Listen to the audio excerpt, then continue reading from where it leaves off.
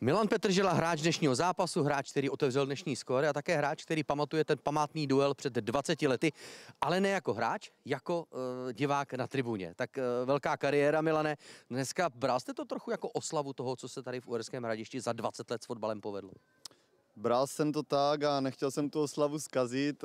Byli tady i vlastně spoluhráči, s kterými jsem tady před 20 rokama začínal, tak jsem chtěl, aby si to užili společně s náma. Přijeli i Rajny z Prahy, takže dlouhá cesta, tak jsem chtěl, aby jsme si to užili společně, ale bohužel jedna jedna.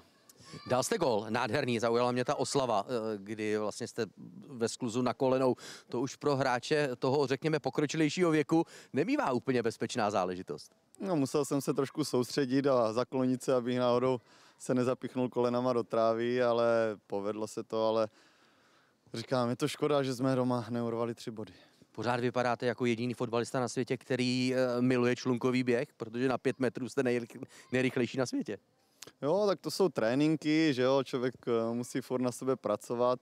Důležitý i životospráva, aby byla výborná, to je samozřejmě, to k tomu patří, takže Eh, je tam hodně aspektů, aby, aby prostě fungovali tak, jak mají a potom se může takhle hrát do tolika roku.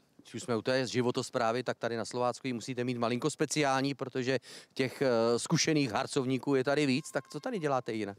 No, máme takový speciální svoje rituálky, to vám nebudu prozrazovat samozřejmě, ale není to nic, nic velkého, je to normální klasický trénování každý den, že jo, a, a potom samotný zápas.